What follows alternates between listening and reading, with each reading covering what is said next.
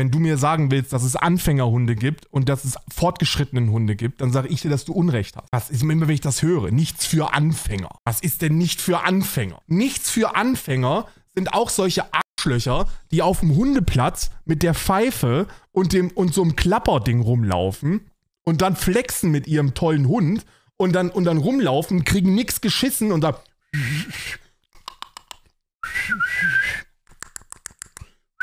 Ja, ist ein toller Hund, aber leider nichts für Anfänger. Da müssen sie schon so ein Profi sein wie ich. Müssen sie schon so ein Profi sein.